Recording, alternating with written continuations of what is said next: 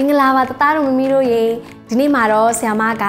မြန်မာပြည်အခရာ33လုံးထဲကနေပြီးတော့စလုံးအခရာလေးနဲ့မိတ်ဆက်ပေးမယ်နော်ကဲအဲ့တော့ဆ iam တို့စလုံးအခရာလေးကိုကြည့်လိုက်ရအောင်စလုံးစလုံးစလုံး ကဲအဲ့တော့ဒီစလုံးအခရာလေးမှာလည်းသူ့မှာအစတန်လေးရှိတယ်အဲ့တော့တသားတို့မေမေတို့တေချာလိုက်နားထောင်ပြီးနော်ဘာလို့ဆရာမကဘာလို့ဒီအစတန်လေးတွေကိုပြောပြပေးလဲဆိုရင်ဆရာမတို့ဒီအခရာတွေရောတက်လို့နော်အတန်ထွက်လေးတွေရောတက်တဲ့အတွန်းကြောင့်မို့ဆရာမကဒီအစတန်လေးတွေကိုပြောပြပေးတာဖြစ်တယ်နော်အဲ့တော့ကဲစလုံးအခရာလေးရဲ့အစတန်တွေကဘယ်လိုထွက်လဲဆိုတော့စစစ ကဲအဲ့ဆိုရင်ဆရာမတို့အခုကတော့စာလုံးအခရာလေးဆွဲတာကိုပြပေးမယ်အဲ့တော့တသားတို့မိမိတို့ကဆရာမဘယ်လိုဆွဲလဲဆရာကိုတခြားလေးလိုက်ကြည့်ပေးရမယ်နော်ကဲအဲ့တော့ဆရာမတို့စာလုံးလေးကိုဆွဲတဲ့အခါမှာဒီတစ်ခါမှာတော့ဆရာမတို့ကအပေါ်ကနေဆွဲပေးရမယ်ကဲအဲ့တော့ဆရာမဆွဲပြမယ်တသားမိမိတို့ကတခြားလေးလိုက်ကြည့်ပေးနော်ကဲအဲ့တော့ဆရာမတို့ကသူ့ဆွဲဒီအပေါ်လေးကနေစဆွဲပေးရမယ်ကဲဆွဲတဲ့အခါမှာဆရာမလုံးလုံးလေးဆွဲတယ်စလုံး ကဲအဲ့တော့ဆရာမနောက်တစ်ခေါက်ဆွဲပြပေးမယ်တခြားလိုက်ကြည့်မယ်နော်ကဲအပေါ်ကနေစမယ်စဆွဲကြတဲ့လုံးလုံးလေးဆွဲတဲ့အတွက်ဆရာမတော့သူ့ကိုစာလုံးကဲအဲ့တော့ဆရာမနောက်တစ်ခေါက်ပြန်ဆွဲပြမယ်စာလုံးကဲအဲ့ဆိုရင်အခုဆရာမကတသားတော်မမီတို့ကိုဒီစာလုံးအခရာလေးနဲ့စာတဲ့ကြပြလေးကိုဆိုပြမယ်ကဲတသားတော်မမီတို့ကဆရာမဆိုပြတဲ့အဖြတ်တောက်လေးကိုတေချာလေးလိုက်နှာထောင်ပေးမယ်နော် စလုံးစလုံးဖိုးစလုံးခါးကိုကုန်းလို့စပားဆိုင်တုံးအထွက်တိုးမာမို့ပြုံးကဲနောက်တစ်ခေါက်ဆိုပြမယ်စလုံးစလုံးဖိုးစလုံးခါးကိုကုန်းလို့စပားဆိုင်တုံးအထွက်တိုးမာမို့ပြုံးကဲဆမနောက်တစ်ခေါက်ထပ်ဆိုပြမယ်နော်စလုံးစလုံးဖိုးစလုံး ခါးကိုကုန်းလို့စပားဆိုင်တုံးအထွက်တိုးမာမို့ပြောကဲအဲ့တော့တသားတို့မမီတို့ကဒီကြပြားလေးလဲတိတ်သွားပြီဆိုတော့ဆရာမတို့ကဒီတစ်ခါမှာတော့စလုံးအခရာလေးနဲ့စတဲ့အရာဝတ္ထုလေးတွေကိုပြောပြပေးမယ်ကဲအဲ့တော့တူတူကြည့်လိုက်ရအောင်ကဲဒါလေးကတော့စစတော်ဘယ်ရီတီစစတော်ဘယ်ရီတီစစတော်ဘယ်ရီတီ စစာအုပ်စစာအုပ်စစာအုပ်စစွန်စစွန်စစွန်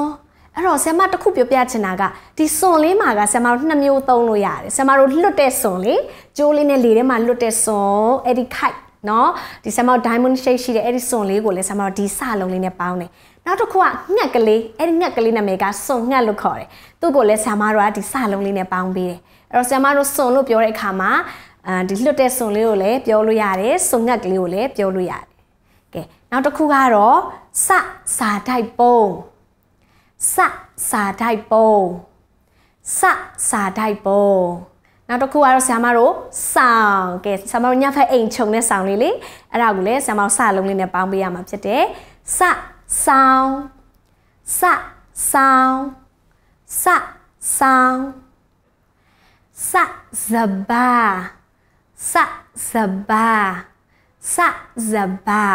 ဒီစဘာလေးကကြတော့လေဆရာမတို့အခုစားနေတဲ့ထမင်းတသားတို့မမေတို့သိရမလားအဲ့ဒီထမင်းလေးကဆရာမတို့ဒီစဘာပင်ကနေရတာဖြစ်တယ်နော်အဲ့တော့စဇဘာကဲနောက်တစ်ခုကတော့စဇပွဲစဇပွဲစဇပွဲစဇဘေစဇဘေစဇဘေကဲနောက်ဆုံးတစ်ခုကတော့စစတုယံ စစတုယံစစတုယံကဲအဲ့ဆိုရင်ဆရာမအခုကတော့တသားတို့မမီတို့ကိုဆရာမကပုံမှန်မိအောင်တသားတို့မမီတို့အဲပြန်ပြီးတော့ဆရာမတို့ဆိုထားတဲ့ဟာလေးတွေတစ်ခါတော့ပြန်လေ့ကျင့်မယ်နော်ကဲအခုကတော့ဆရာမတို့ဒီစလုံးအခရာလေးကိုပြန်ဆွဲကြည့်မယ်ကဲဆရာမကဒီဘက်ကဆွဲပြမယ်တသားတို့မမီတို့ကလည်းလေထဲမှာတသားတို့မမီတို့လက်ချောင်းလေးနဲ့တခြားလိုက်ဆွဲကြည့်နော်ကဲအဲ့ဆိုဆရာမစဆွဲပြီစ လုံးကဲအဲ့တော့ဆရာမစလုံးဆွဲတဲ့ခါမှာအပေါ်ကစဆွဲလို့ပြောထားရယ်နော်စလုံးကဲအခုကျတော့ဆရာမတို့ကဒီစလုံးကြပြလေးကိုပြတ်ဆိုမယ်ကဲဒီတစ်ခါဆရာမတို့ကနည်းနည်းတွတ်တွတ်မြန်မြန်လေးဆိုမယ်နော်ကာယံလေးနဲ့မြန်မြန်တွတ်တွတ်လေးဆိုရအောင်စလုံးစလုံးဖိုးစလုံးခါကိုကုန်းလို့စပားဆိုင်တုံထွက်တိုးမာမို့ပြုံးစလုံးစလုံးဖိုးစလုံးခါကိုကုန်းလို့စပားဆိုင်တုံထွက်တိုးမာမို့ပြုံး ကဲအခုဆ iam မတို့ကဆွဆွဆိုသွားတယ်စလုံးလေးနဲ့စတဲ့အရာဝတ္ထုလေးတွေကိုတစ်ခါလောက်ပြန်လေ့ကျင့်မယ်နော်တသားတို့မျိုးတို့ပုံမှန်းမိသွားအောင်လေကဲအဲ့တော့ဆ iam မဆိုပြမယ်ကဲတသားတို့မျိုးလည်းလိုက်နားထောင်မယ်နော်စဇဘာစစတော်ဘယ်ရီဒီစစာအုပ်စစာတိုက်ပုံစဆောင်စဆုံစဇဘေစစတူယံစဇဘွဲ ကဲအဲ့တော့ဆရာမဒီနေ့သင်မေးမယ်ဒီအခရာလေးစာလုံးလေးကတော့ဒီလောက်ပဲเนาะအဲ့တော့တသားတို့မမီတို့ကဆရာမဒီနေ့သင်ပြပေးသွားတယ်စာလုံးအခရာရေးဆွဲတဲ့ပုံလေးတွေကိုအိမ်မှာလည်းပြန်ရေးလေးကျင့်ကြည့်မယ်เนาะပြီးဆရာမသင်မေးတဲ့ဒီစာလုံးကြပြလေးကိုလည်းတသားတို့မီတို့အိမ်မှာထက်ခါထက်ခါပြန်ဆိုပေးမယ် ကဲပြီးတော့ဆ iam မသင်ပေးလိုက်တဲ့ဒီစလုံးအခရာလေးနဲ့စတဲ့အရာဝတ္ထုလေးတွေကိုလည်းအိမ်မှာတသားတို့မမီတို့ကထက်ခါတက်ခါပြင်ပြန်ဆိုပေးရမယ်နော်ဒါမှတသားတို့မမီတို့ကလိန်မာပြီးတော့ထူးချွန်တဲ့ကလေးလေးတွေဖြစ်မှာဖြစ်တယ်အဲ့တော့ဆ iam မတို့အာဒီနေ့ကတော့ဒီလောက်ပဲကဲအဲ့တော့ဆ iam မတို့နောက်တစ်ခေါက်တင်ပါလေဆ iam မတို့ဘီအခရာလေးတွေကိုဆက်ပြီးတော့အတူတူလေ့လာကြမယ်ဆ iam မနာမည်ကတော့ဆ iam မယူယူဖြစ်ပါတယ်တသားတို့မမီတို့အားလုံးကျမ်းမာရှင်လန်းပါစေနော်